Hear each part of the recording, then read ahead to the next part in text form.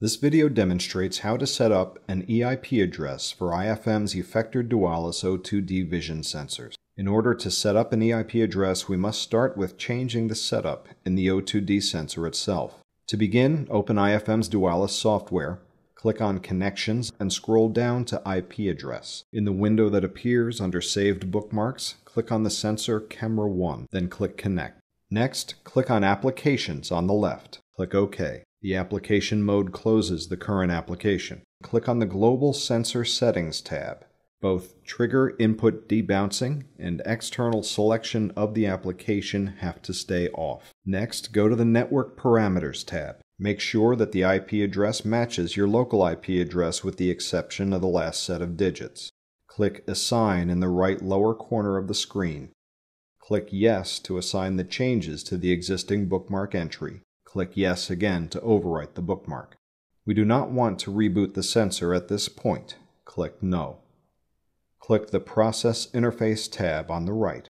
For Process Interface, check the option Ethernet IP. For protocol version, check version 2. For output format, check ASCII. Click Assign. Click Yes to reboot the sensor in order to apply the changed parameters. This may take about 30 seconds. After that time, click OK and see if it's ready to connect. On the upper bar, click the first icon from the left. It is still rebooting. Keep in mind that it is possible to connect entering the address manually. To do so, click on the tab Connections. Now type in the IP address and click Connect. Next, using the button on the left side, go to your application. On the bottom of the screen, click the tab Process Interface. Click on the application and then Edit. After that, click on the Process Interface button on the left.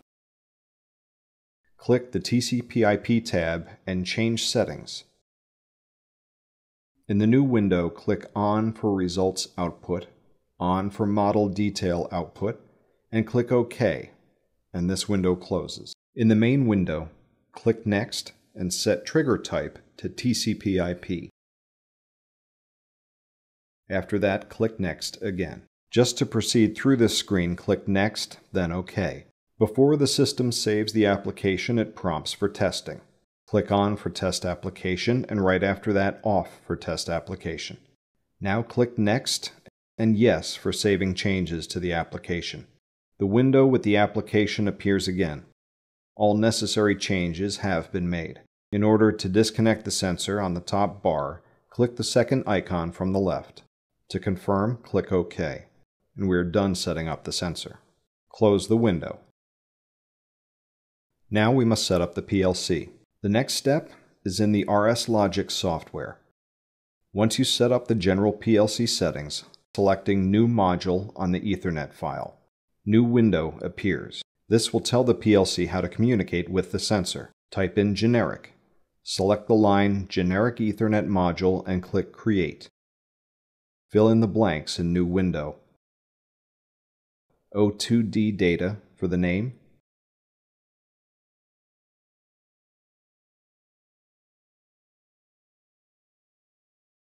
SINT for the format. And enter the IP address of the sensor.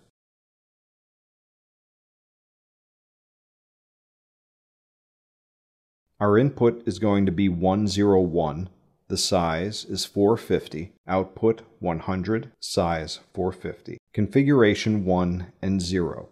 Click OK. 10 milliseconds as requested packet interval is good. Click OK again. On the left in Controller Organizer at the bottom, I highlighted what we just added. Click on Offline in the upper left corner and scroll to Download. Please note the warning message that pops up. Click Download. Click Yes to change controller mode back to Remote Run.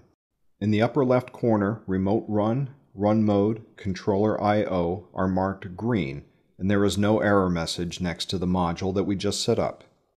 Now we are going to send the sensor a command from the PLC. Click on Controller Tags file in the Controller Organizer. A list opens.